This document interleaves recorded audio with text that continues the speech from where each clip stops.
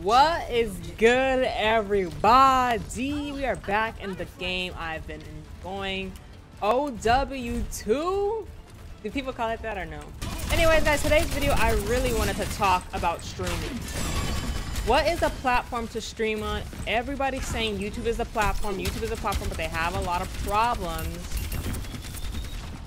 And like, I just want to know, what are all you guys watching? We can't leave these people on this side.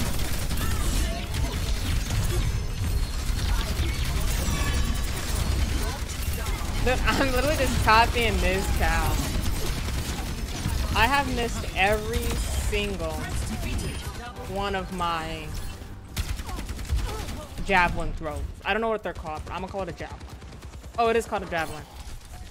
I miss every single javelin. Anyways, let's get back to stream talk. I get my first javelin.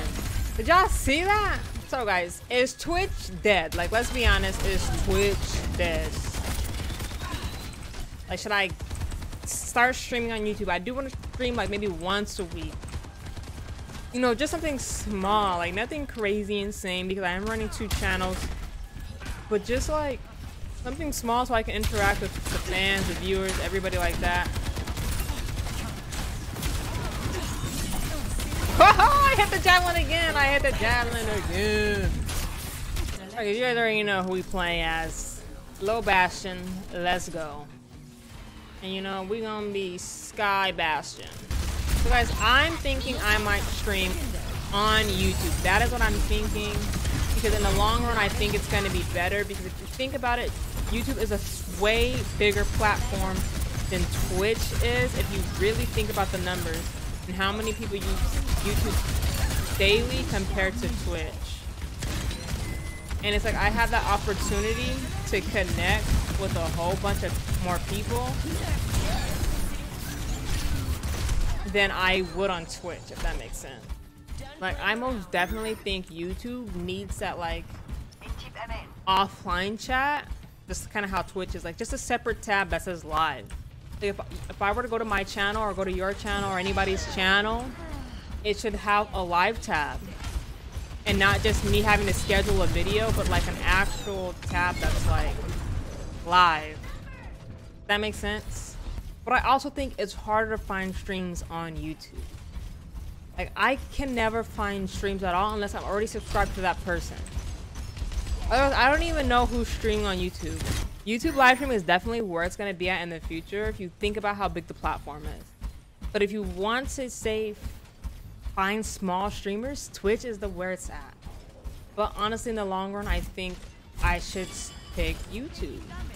Me. Rub my eye before I go out there and die. Put my hand off the controller. Or worse, can't see. What do you guys think down in the comments below? I think there's a lot of stuff that YouTube should add for their streams. I just make it more, like make it more findable. YouTube is definitely the platform to get discovered on, but not streaming. Because you know when everybody wanted to be a streamer, everyone's like, you need to make content on YouTube, you need to make content on YouTube. If you want to be discovered on Twitch, you need to make content on YouTube. And drive those people to your streams.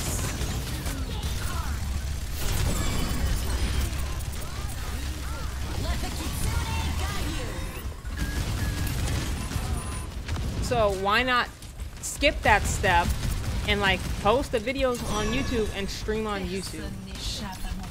And that's because YouTube is too hard, I'm assuming, to find streams. But like, truthfully, in the long run, I'm pretty sure YouTube is going to be on top. Because eventually when I start saying uploading the Minecraft series that I have, that's going to take an episode a month, that's to need to be streamed because it's a lot of grindy work, you know? I'd much rather stream that than to sit around and like not stream it.